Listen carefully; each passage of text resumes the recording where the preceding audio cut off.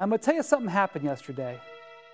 You know, honestly, I think there's a couple of things. Um, the reason I think people liked it is because it was a different type of story. It's not what they normally see on TV. There was a trade yesterday between the Utah Jazz and the Brooklyn Nets. It's a very strange trade. Very strange trade. You know, one of the great things about First Take is that the A block is really long. It's totally different than all the rest of our shows. And so that was a factor that allowed me to have some room. Why would the Jazz do that? Why would the Jazz, who have two stars on their roster, mm-hmm. take a player who's one of their starters and best defensive players and trade him in a salary dumping move? Why would they do that? To open what? up space to try to land Kevin?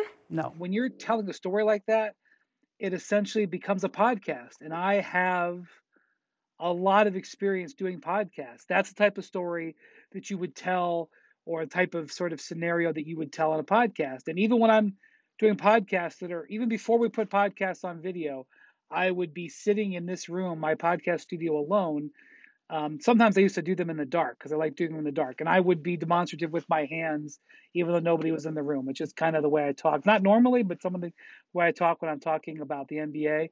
And so it really just you caught me uh, I fell into doing a podcast. It just happened to be on first take in uh, you know about a subject that had some mystery to it, and I think um, you put all those things together, and I think people liked it.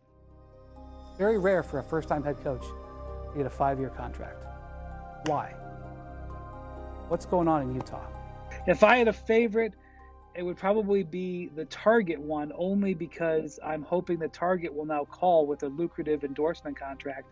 And in that particular case, I would be willing to take that call, Target. Thank you very much.